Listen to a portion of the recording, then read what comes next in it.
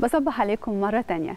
هيئة الأرصاد بتتوقع أن النهاردة الطقس هيكون معتدل نهارا على القاهرة الكبرى والوجه البحري والسواحل الشمالية ومائل الحرارة على شمال الصعيد وحار على جنوب سيناء وجنوب الصعيد. كمان الجو هيكون لطيف في أول الليل ومايل البرودة في آخره على شمال البلاد وحتى شمال الصعيد ولطيف على جنوب سيناء وجنوب الصعيد. كمان في شبورة مائية الصبح وقد تكون كثيفة أحيانا وده هيكون على بعض الطرق الزراعية والسريعة والقريبة من المسطحات المائية على بعض المناطق.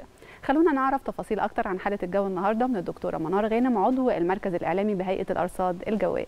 صباح الخير يا دكتور.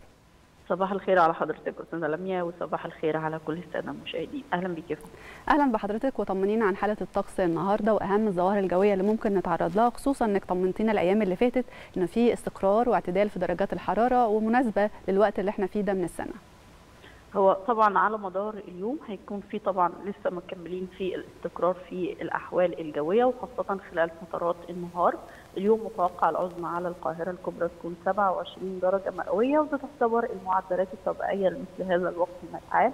أغلب محافظات الجمهورية هيكون فيها استقرار في الأحوال الجوية وطقس معتدل خلال فترة النهار على السواحل الشمالية محافظات الوجه البحري القاهرة الكبرى يمكن كمان بعض المناطق من محافظات شمال الصعيد طقس حار على جنوب الصعيد وجنوب سيناء ده هيكون فترات النهار وخاصة في فترة الظهيرة مع شدة الإشعاع الشمسي رغم إن في سحب منخفضة متوسطة على مدار اليوم بتحجب جزء من أشعة الشمس يمكن ده هو اللي بيساعد إن إحنا نحس بالأجواء الخريفية بشكل كبير خلال فترة النهار.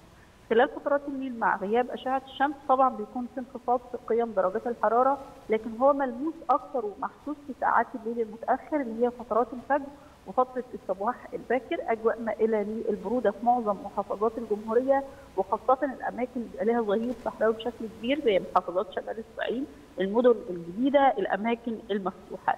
كمان اليوم طبعا خلال فترة الصباح شفنا الشبوره المائية اللي كانت كثيفة في بعض الأماكن وخاصة على الطرق الزراعية والسريعة والقريبة من المسطحات المائية وأدت لانخفاض في الرؤية الأفقية فترة الصباح الباكر.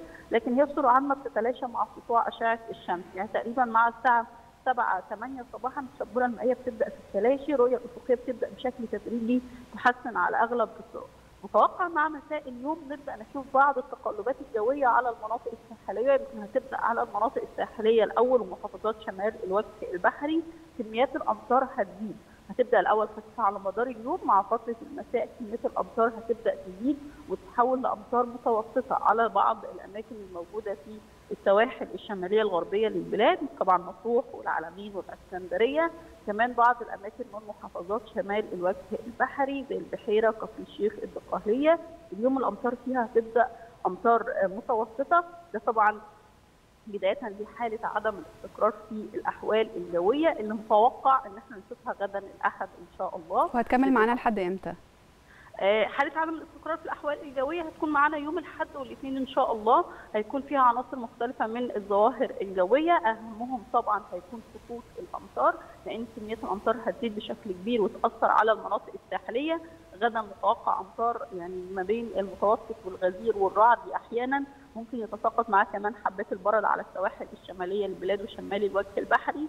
كل ما تقدمت للمناطق الداخلية كانت كميات الأمطار أقل.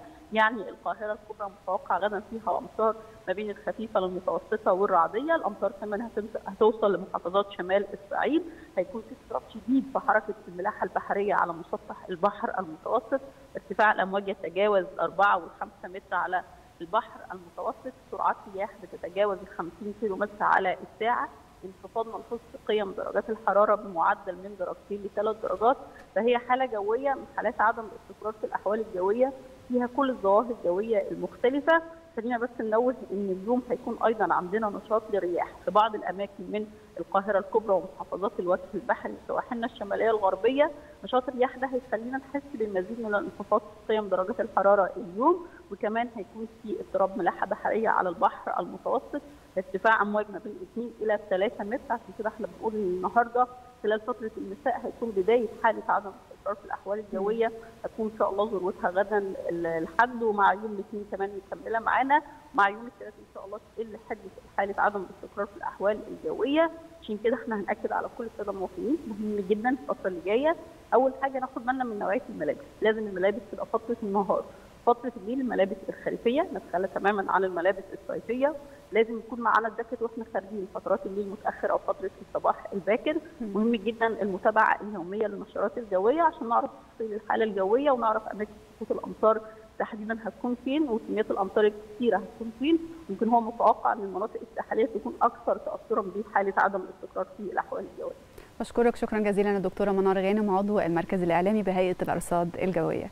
ودلوقتي مشاهدينا تعالوا نتابع درجات الحرارة المتوقعة النهارده ونبدأها بالقاهرة للعظمى فيها 27 والصغرى 19 العاصمة الإدارية 27 18 اسكندرية 27 18 العلمين الجديدة 27 17 مطروح 27 17 دمياط 27 19 بورسعيد 27 20 الإسماعيلية 28 17 السويس العظمى فيها 28 والصغرى 18 العريش 27 17 كاترين 23 8 طابة 26 20 حلايب 27 23 شلاتين 31 22 شرم الشيخ 30 21 الغردقة 30 21 الفيوم العظمى فيها 27 والصغرى 16 بني سويف 27 15 الوادي الجديد 29 16 أسيوط 28 14 سوهاج 28 16 قنا 30 17 الأقصر 30 17 وأخيرا أسوان العظمى فيها 31 والصغرى 18